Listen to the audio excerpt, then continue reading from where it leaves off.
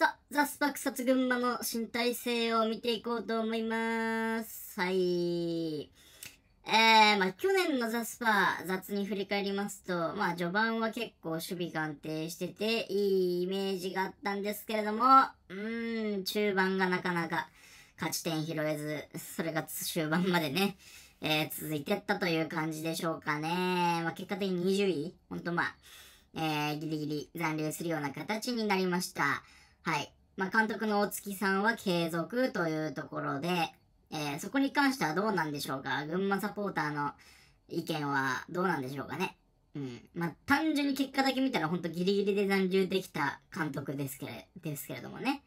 うん、まあ、ただやっぱり、あーこの人は何でしょうね。チームを引っ張る統率力みたいなところと、本当にね、それを慕って、慕うような選手もやっぱいますから、まあ、一概にね、結果だけ見てこう判断できないような人柄がありますしね。はい。えー、っと、まあ、スタッフ陣ざっと見るとこんな感じです。えー、コーチが2人新しく加わっていて、42歳の吉田さんと、25歳の中野さん。最近多いですね。今、こう J2 の新体制、いろいろ他のとこ見てるけど、結構20代中盤とかで本当にコーチとかに加わってる人が多くて、本当次世代のね、なんか、何でしょうね、育成のエリートが出てくるの楽しみですね、日本もね。うん、だからこれは本当に J リーグがこう根付いて、えー、今何周年？まあでも30年ぐらいこう、やってきたからこそこういうね、日本サッカー界も変わってきたんだなっていうちょっと大きい話になりましたけど。えーそしてコンディショニングコーチ、片海さんという、珍しい名字な片海。日本になんか4、50人ぐらいしかいないんじゃないの？片海さんがいます。はい、そんな感じです。えー、っと、選手、気になる選手見ていきましょうか。背番号というところですね。えー、まあちょっと目につくところを触れていきます。5番に川上江戸お、お、川上江戸オジョンチェ。はい。浦和レッズユースだったっけな？だったはずなんで、そこ大月さんとつながりありそうですね。で、徳島とか行って、えー、群馬に移籍してきたということです。はい。で、7番に川本。はい。えー、まあ去年何ゴールだろう多分でも1、2点のイメージなんですよね、俺の中で。そんな量、バカバカ点取ってたイメージはないんですけれども、やっぱこの選手ほんと覚醒、どっかですると思うんだよねっていう、ほんとなんか、前田俊介を諦めないじゃないけど、なんかこの選手は本当にどっかでこう皮向けて、前田大然みたいにバカバカ点取りそうな気はするんでね。うん、期待してます。えー、そして10番に佐藤亮。ね、亮 S。いやー、いきなり10番背負うかってちょっとびっくりしますね、これは。ギラバンツでまあ、ねえ J2 でもまあそこそこやれてたけど、J3 でより攻撃の中心になって、うん、で、まあちょっとステップアップっていうことですけれども、10番背負うかっていうのはちょっとびっくりですね。うん。もうほんとチームの核と、攻撃の核と認識されているところとです、ところですわね。うん。そして13番に竹颯。これも地味にびっくりした移籍でしたね。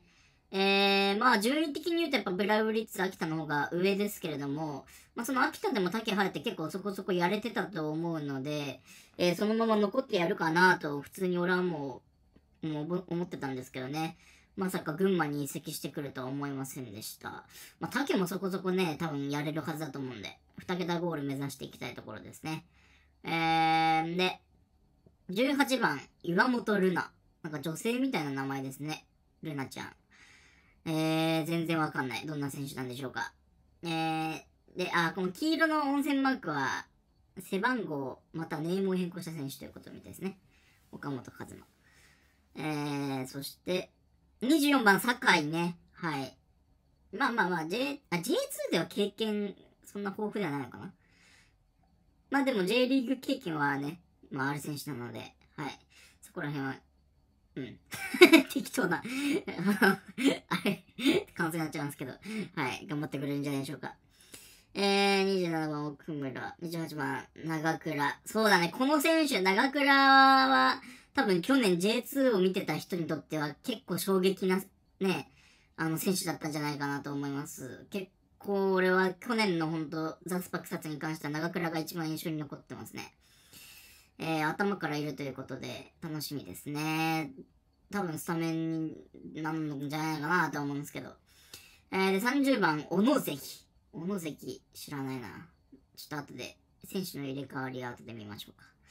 えー、そして36番、中潮。これ結構大きい補強なんじゃないでしょうか。うん。これ大きいですね。で、41番、田部井優。うん。あ、これはあれか。番号変更か。赤色が新加入ね。石井亮が新加入ね。42番。あ、石井亮って浦和だったっけ？えー、で、50番、菊池健太。菊池健太知らないな。えっ、と、選手の入れ替わり見ていきましょうか。J リーグの公式サイトで。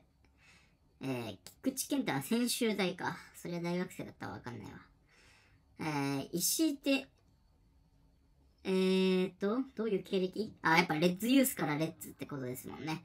まあ、これは本当大月チルドレンっていう感じなんじゃないでしょうか。まあ、ゴールキーパーに関してはね、串引きが本当に不動のレギュラーっていうイメージなんですけど、まあ、そこ割っていけるか。うん。えー、アウトの方見ていくと、意外と群馬抜かれてたんだよね。えー、加藤純也が金沢に行きました。なえー、田中投手が山口に行きました。小島正也金沢に行きました。えー、た、あ、高木どこに行ったんだっけ？高木どっか行ったよね。なんか俺見たな、どっかの身体性見てるときに高木の名前あったな。忘れちゃった。えー、で、深堀は、愛媛に期限付きなんだ。えー、道永契約満了か。そっか。うーん。まあ、あと、シンがね、長野に、まあ、ちょっとステップダウンというか、ね。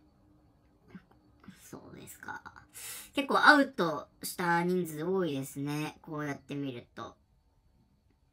まあ、その中でもこう、主力のね、選手数人が、なんでしょう、J2 の中で言うと同じぐらいの立ち位置のチームに引き抜かれてしまったのはちょっと悔しいところがありますね。うん。まあ、ただ一方で群馬の方は、まあ、戦力外に例えばなった選手とか、J3 で有力になっていた選手とか、えー、そういうところをうまくかき集めて、まあ、去年と同等の選手層は確保できているのかなという印象ですね。まあ、ただ、経験値で言うとやっぱ去年の方がね、どうしてもあったかな。うん。ですね。はい。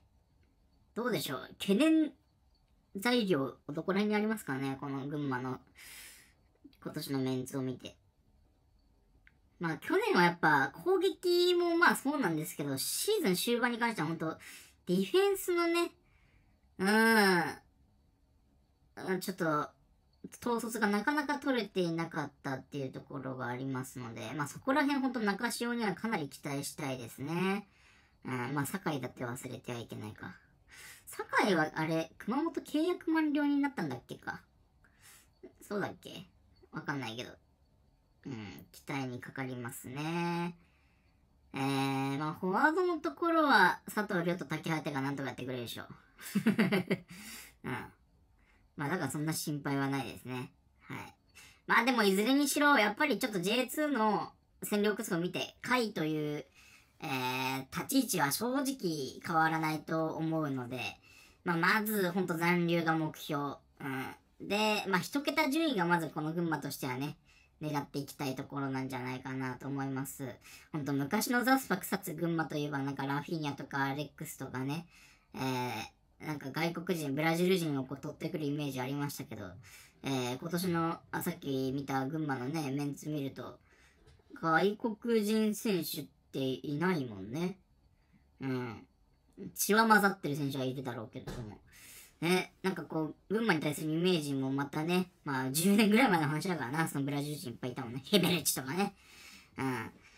変わりましたね。はい。まあなんとか J2 残業していきたい、いきたいところでございます。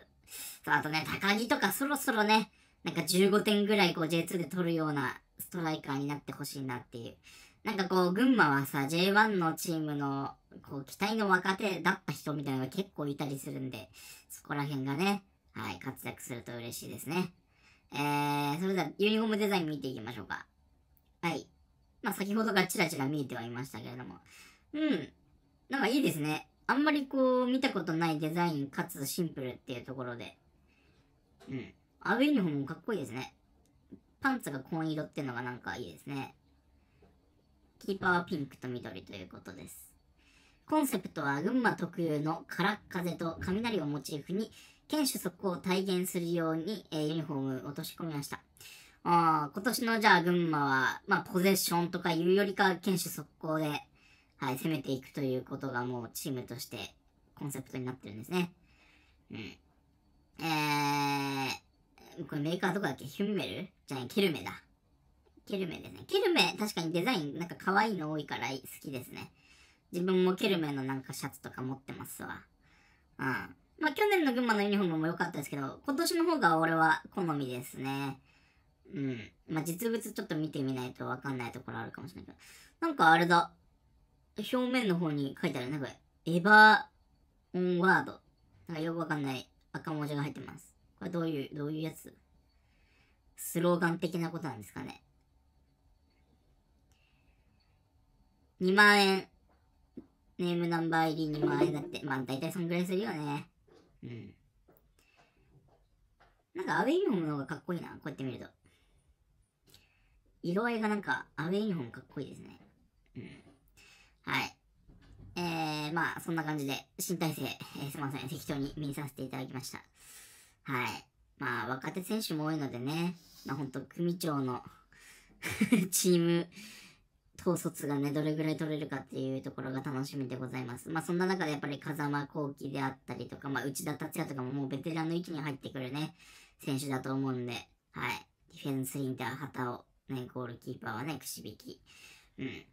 この辺がしっかりと締めつつ、えー、成長過程にある選手たちが、まあ、絡んでくると面白いチームになってくるんじゃないでしょうか。やっぱ注目選手は、まあ、佐藤亮ですかね。うん。